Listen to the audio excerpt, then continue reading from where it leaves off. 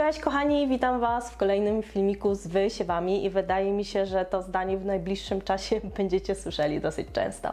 E, grafik wysiewów e, jest dosyć napięty, zaczyna się już sezon, a w samym lutym chcę jeszcze wysiać na przykład koleusy. Mam w przygotowaniu fajny filmik o pnączach z nasion, plus na pewno jeszcze dalie, no i bezpośredni wysiew cool flowers w ogrodzie. I to jest sam luty. A w marcu będziemy już zaczynali siać ciepłolubne w butelkach i w tym roku chcę przeprowadzić eksperymenty, jak to jest z pomiorami, więc specjalnie dla Was je wysieję w butelkach, no plus oczywiście już takie kwiaty jak cynie, kosmosy czy słoneczniki, ale Tematem dzisiejszego filmiku jest wysiew werbeny oraz szałwi i to są rośliny, które wysiewamy w terminie od 6 do 8 tygodni od ostatniej daty przewidywanego przymrozku w naszej okolicy czy też Waszej. Jeśli nie wiecie, jaka to może być data, to zapraszam Was do obejrzenia filmiku właśnie z datami wysiewów oraz datami y, przewidywanych ostatnich przymrozków w Polsce i link do niego wrzucę w prawym górnym rogu albo w opisie tego wideo. No ale wracając do tematu dzisiejszego odcinka, bierzemy się za wysiew werbeny oraz szałwi.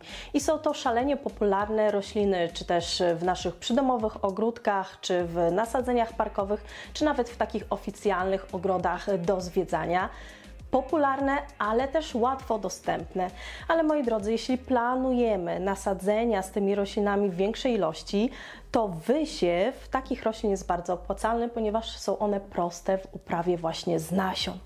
Wysieję dzisiaj e, odmianę, jedną odmianę werbeny oraz jedną odmianę szałwi i obie te rośliny są to e, rośliny kompaktowe, czyli maksymalnie dorastające do 50-70 cm, a więc świetne e, do frontu rabaty albo też do uprawy w doniczkach. I werbeną, którą dzisiaj właśnie wysieję jest werbena żyłkowana Santos Purple. Ja ją pierwszy raz wysiałam w tamtym sezonie, świetnie wyglądała i przewagą tej rośliny właśnie nad tą y, ogólnie wszechobecnie dostępną i znaną y, werbeną padagońską jest to, że jest to odmiana właśnie kompaktowa, niższa.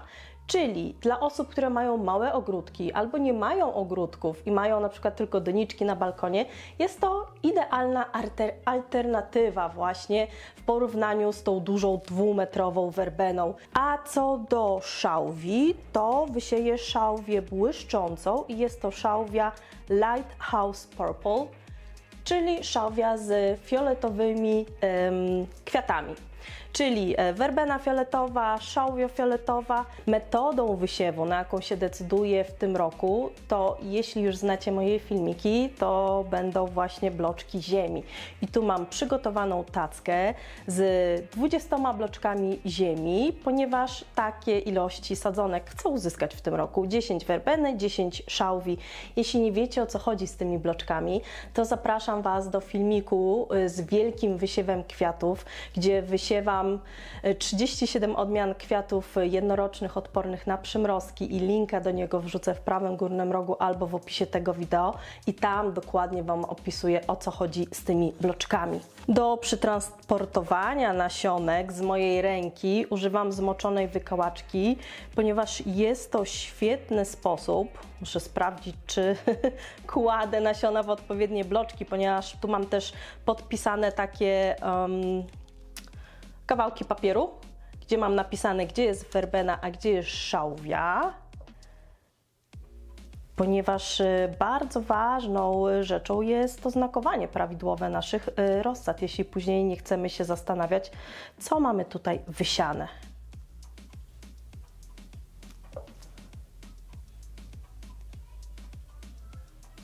Nasiona werbeny są trochę mniejsze, drobniejsze, dlatego też używam wykałeczki do ich aplikacji e, na bloczkach ziemi.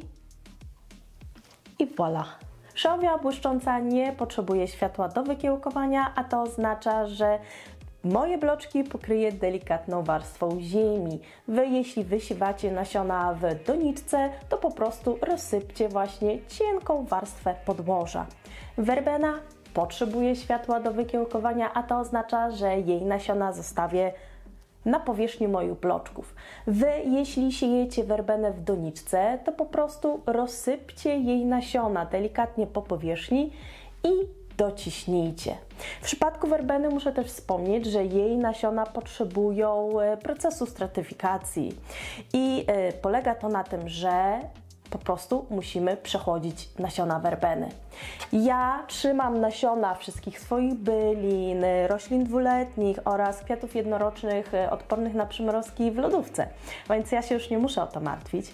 Ale Wy, jeśli wiecie, że chcecie wysiać werbenę, to albo przed wysiewem e, zostawcie jej nasiona, opakowanie z nasionami w lodówce na 2-3 tygodnie, albo bezpośrednio po wysianiu możecie wystawić taką doniczkę na zewnątrz, do ogrodu, na balkon, na parapet, na zewnątrz domu, zostawcie właśnie też tak na 2-3 tygodnie i wnieście z powrotem do domu do ciepła, żeby mogła zacząć kiełkować. Jak widzicie, te 20 sadzonek zajęło mi bardzo mało miejsca i tym razem używam tacki po sushi ponieważ w metodzie z bloczkami ziemi to chodzi o to, żeby po prostu ta tacka była tacką, nie miała dziur odpływowych, pozwalała nam na swobodne podlewanie i jeśli potrzebuję mniejszej tacki, bo używam mniejszej ilości bloczków, to idealnie nadają się do tego właśnie kontenery po jedzeniu i bardzo wiele z nich używam e, później właśnie w moich wysiewach. W idealnych warunkach, czyli powyżej 21 stopni Celsjusza, te nasiona powinny wykiełkować w terminie od 14 do 21 dni. Jeszcze ważna rzecz, po wysianiu bardzo dobrze jest zwilżyć. Czy to nasze bloczki, czy wielodoniczki, czy jakikolwiek pojemnik, w którym wysiewacie. Nasiona potrzebują wilgoci do y, wykiełkowania i to jest bardzo ważny proces, żeby utrzymywać tą wilgoć. Kończy mi się woda. jak na najwyższym poziomie. Żeby to zrobić, przykryję tą tackę taką e, właśnie pokrywką, która była w tym zestawie, ale Wy jeśli nie macie takiej pokrywki albo e, w tym momencie używacie jakiejś doniczki czy wielodoniczki, to zróbcie po prostu kopułkę z folii spożywczej. Ja to pokazuję właśnie w poprzednim filmiku e, z wysiewem. I taką kopułkę, czy też taką pokrywkę, czy kopułkę z folii usuwamy w momencie, kiedy mamy 70% nasionek wykiełkowanych. Werbena żyłkowana, czyli werbena, która podbiła w tamtym roku moje serce, jest rośliną już, która jest w stanie e, przezimować w ogrodzie czy u mnie, czy u Was w Polsce, ponieważ należy do strefy mrozoodporności 7-11. Jeśli nie wiecie o co chodzi z tymi strefami mrozoodporności, to link do takiego filmiku, co to jest i w ogóle jak sobie odnaleźć swoją strefę, znajdziecie w opisie tego wideo. A więc werbena żyłkowana, czyli strefa 7-11, więc spokojnie zimuje w ogrodzie i ja mam teraz w ogrodzie właśnie taką już z zeszłego roku werbenę. Jeśli się obawiacie, że na przykład zima może być sroga, to warto taką roślinkę na przykład sobie zakopczykować liśćmi na jesieni. Szałwia błyszcząca, bo ja nie wiem, czy to powiedziałam, ale też szałwia błyszcząca, niestety jest rośliną jednoroczną zarówno u mnie, jak i u Was, ponieważ jej strefa mrozoodporności to 9-11, a więc totalnie jest rośliną ciepłolubną. Jeśli chcecie ją przezimować, to po prostu będziecie zmuszeni ją wnieść do domu e, w doniczce, czy wykopcie ją z rabaty i się posadzicie na rabacie i w, tylko w ten sposób będziecie mogli ją przezimować e, w naszym europejskim klimacie. Szałwie Sadzimy w ogrodzie po ostatnich przymrozkach, ponieważ jest to roślina właśnie wrażliwa na spadki temperatur. A więc tutaj e, jej sadzonki będą musiały um, przebywać u nas pod lampami w domu przez dłuższy czas.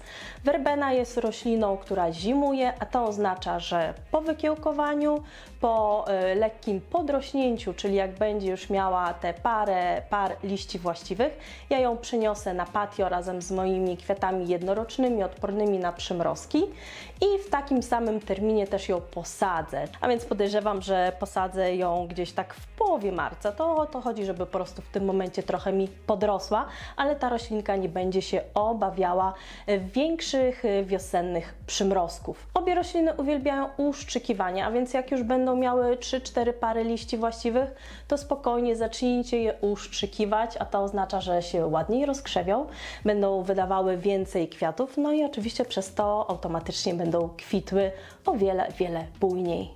Chciałam Wam przypomnieć, że już w zeszłym sezonie stworzyłam jeden filmik na temat werbeny patagońskiej i to, jak ją pozyskać w swoim ogrodzie na trzy sposoby. Link do tego wideo wrzucę w prawym górnym rogu albo w opisie tego wideo. Kochani, dziękuję Wam za odwiedzenie mojego kanału. Mam nadzieję, że udało mi się stworzyć kolejny filmik, z którego jesteście w stanie zaczerpnąć wiele przydatnych informacji.